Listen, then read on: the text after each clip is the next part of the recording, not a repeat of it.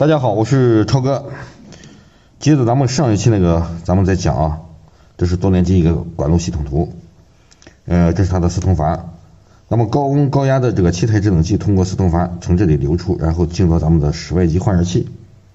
室外机换热器对制冷剂进行散热，那么咱们的制冷剂在这里就会转换成液态啊。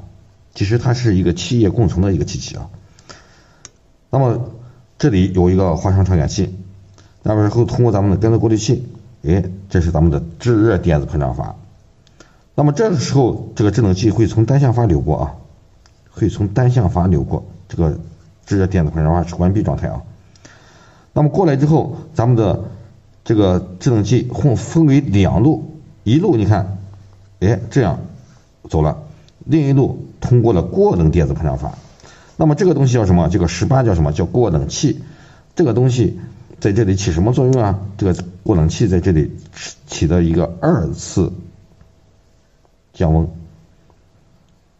对吧？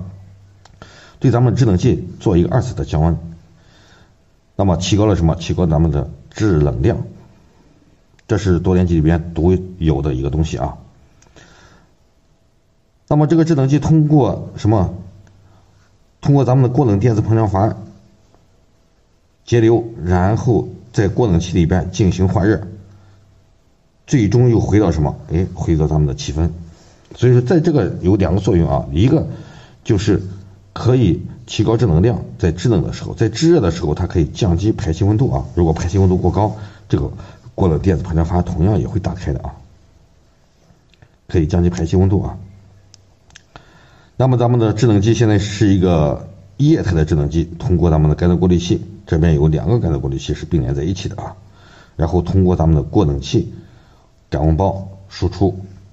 那么这有个三十六，这个是什么？这个你看是在这个液管和气管之间泄压阀，也就是咱们的系统如果出现这个堵死了，对不对？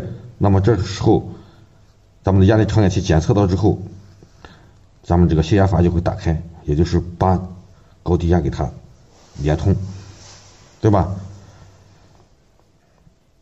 那么制冷剂继续向下，最终进入咱们的室内机进行什么换热？通过室内机换热，再从气管回来，然后通过咱们干燥过滤器，哎，又要通过什么四通阀？对不对？又要通过咱们四通阀，通过四通阀从上面这出来，往下走，这就气通阀通阀，咱们已经说过了。再往下走，就到咱们的气封了。气封就是咱们的制冷剂在室内机里边没有完全气化的这个制冷剂，在这里就要和进行一个分离，就是将气体和液体分离。那么分离之后，咱们压缩机吸入的是什么？是气态的制冷剂。如果压缩机吸入液态的制冷剂，那么我们把讲这个叫压缩机适用型，这样会造成什么？造成压缩机液积现象啊，这个大家都知道啊。那么这个系统系统图原理，咱们基本上已经讲完了啊。后边咱们会详细讲它管路中这些器件，就是咱们的温度传感器啊，包括咱们的过冷电子膨胀阀、过冷器啊，这些在这个实际电路中的作用是如何去工作的，咱们再详细讲解。好了，今天的视频就拍到这，感谢观看，再见。